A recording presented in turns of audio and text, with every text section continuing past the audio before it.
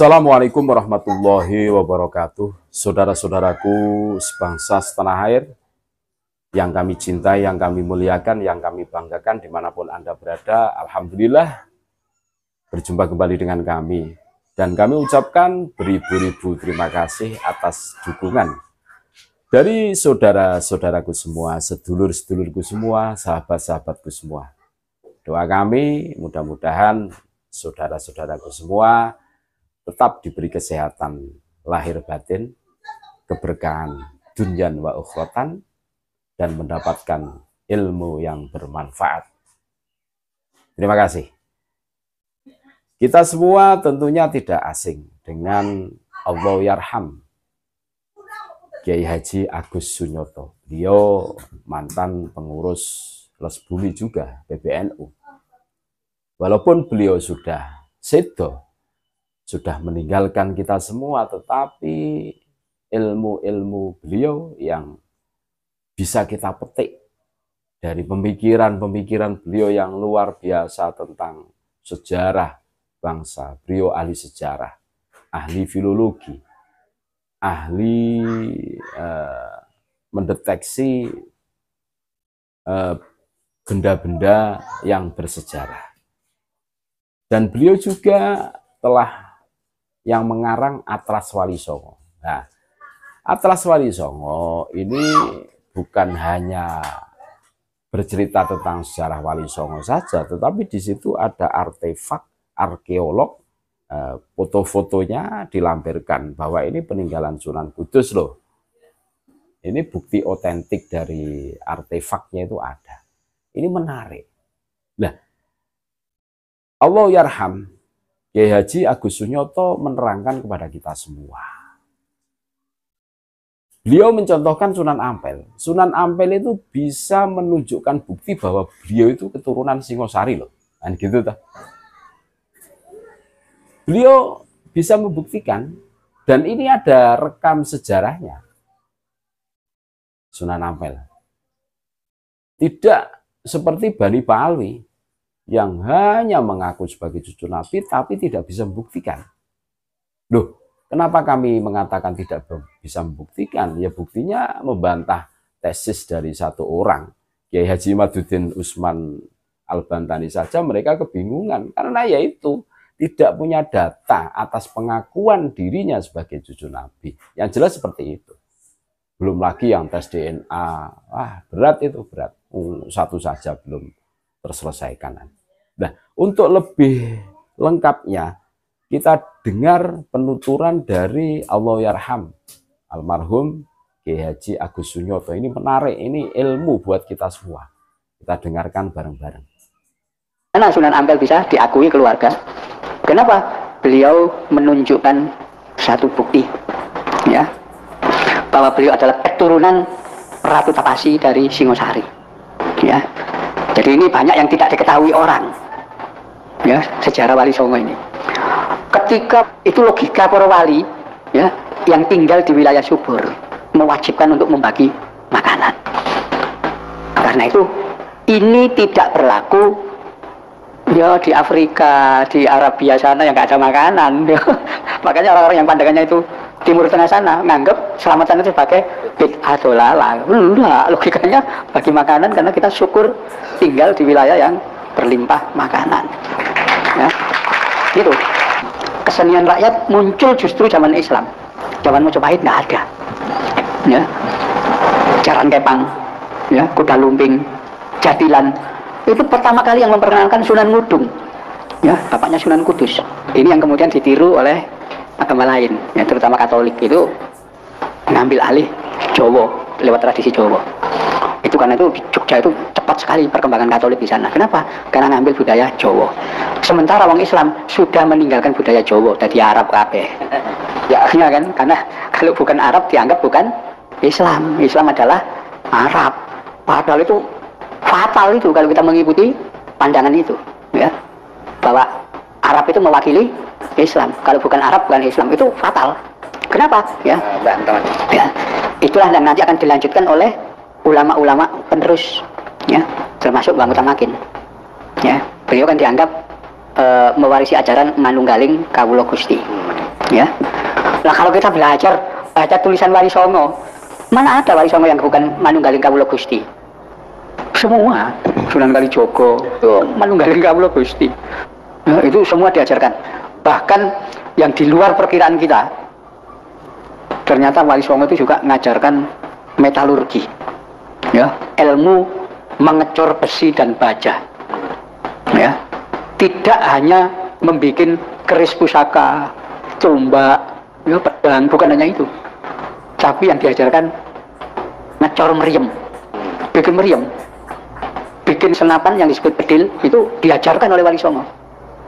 Nah, itu sebabnya ketika Portugis datang pertama kali di sini. Jadi itu itu fakta yang harus kita akui bahwa demokrasi itu hasilnya lebih jelek, lebih ya dibanding kerajaan. Hanya pikiran kita aja sudah diracuni seolah-olah demokrasi lah yang terbaik. Saya kira itu, Mas. Sangat menarik kan? Apa yang disampaikan oleh Allah Yarham almarhum Kiai Haji Agus Sunyoto, pengarang Atlas Wali Songo ini, sangat menarik. Beliau menerangkan tentang Sunan Ampel yang bisa membuktikan diri beliau sebagai Trah Singosari. Nah, terus yang kedua, Wali Songo bagi-bagi makanan. Lewat apa? Lewat media tradisi kendurinan. Nah, makanya eh, tradisi-tradisi eh, yang diwariskan oleh Wali Songo hari ini masih diteruskan oleh jamaah yang namanya Nahdlatul Ulama. Makanya tidak usah khawatir hidup di Nusantara. Seumpama kita tidak bekerja, kita pun masih bisa makan. Ikut jamiah Nahdlatul Ulama. Saya pastikan malam Selasa berjanjinan ada makan-makannya. Malam uh, Senin, Marakiban, ada makan-makannya. Belum malam Jum'ah, ada tahlilan. Kalau mampu, pindah sana, pindah sini, mengikuti itu semua. Saya yakin, seyakin-yakinnya, kita tidak akan kelaparan. Sekalipun kita tidak bekerja di tanah Nusantara ini, di NKRI ini. Jadi apa yang dipraktekkan oleh Jamiah Nahdlatul Ulama ini betul-betul ajaran dari Wali Songo. Ada itu.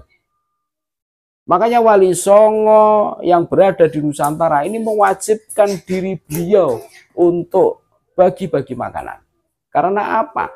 Karena di sini adalah tanah subur. Tanah dari surga. Tanah yang luar biasa gemari pahloh jinawinya kita melempar bibit apa pun akan tumbuh. Berbeda dengan keadaan di Timur Tengah. Mohon maaf, bukan kami merendahkan atau gimana. Ini tentang fakta yang terjadi. Makanya kalau wali-wali yang berada di Timur Tengah tidak diwajibkan untuk bagi-bagi makanan karena keterbatasan tentunya. Tapi kalau wali-wali yang hidup di Nusantara Nah, termasuk Wali Songo ini mewajibkan kepada dirinya untuk bagi-bagi makanan. Dan bentuk dari itu semua dibuktikan dengan acara-acara yang ada, yang masih dipraktikkan oleh jamiah yang bernama Jamiah Nahdlatul Ulama. Ini menarik ini, menarik. Menarik, ini ajaran yang sangat luar biasa ajaran yang harus betul-betul kita jaga, kita lestarikan, jangan sampai hilang. Karena apa? Wali Songo ini sejarahnya terbukti. Beliau-beliau para wali Songo ini terbukti bisa mengislamkan 99% penduduk Nusantara. Nah, ini tentunya tidak lepas dari siasi politik yang diterapkan oleh para wali songo. Wali-wali songo ini menerapkan eh, politik yang di situ itu betul-betul bisa diterima oleh masyarakat Nusantara. Ya, seperti contoh Sunan Mudung. Ini bikin eh, kesenian-kesenian seperti jadilan, wayangan, kan gitu tuh. Wah, lenggeran. Terus bisa diterima oleh warga pribumi. Nah, Dan akhirnya mereka tidak usah dipaksa untuk memeluk Islam dengan sendirinya akan tersadarkan. Karena ada medianya, terus ada wadahnya, terus mudah diarahkan seperti itu. Nah ini menarik ini, menarik. Makanya eh, belajar sejarah ini penting. Jangan sampai kita kepaten obor.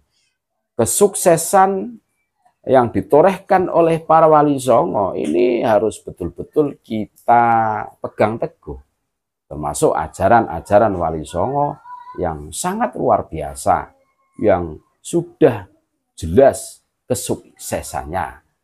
Bukan mengadopsi ajaran-ajaran yang di situ itu bertolak belakang. Ya contoh, kalau orang Nusantara ini sudah kehilangan identitas dirinya, identitas eh, tradisinya nah, sebagai tradisinya nah, sudah berpaling dari identitas kenusantaraannya terus eh, mengadopsi ajaran-ajaran dari Timur Tengah ya sudah ya tunggu bom waktu saja kita tunggu kehancurannya kan begitu makanya kita harus menyadarinya betapa pentingnya menjaga sesuatu yang diwariskan oleh para wali songo. Kita hari ini bisa mengenal Islam karena jasa wali songo. Dan ajaran-ajaran yang diterapkan wali songo ini betul-betul merubah semuanya. Dan sukses. Nah, ini kan harus kita jaga. Nah, masa kita mengadopsi ajaran yang amburadul kan lucu ini. Ini, ini terus ini pola pikir kita ini mau diarahkan ke mana ini wah berat ini terima kasih mudah-mudahan bermanfaat dan tetap NKRI harga mati Assalamualaikum warahmatullahi wabarakatuh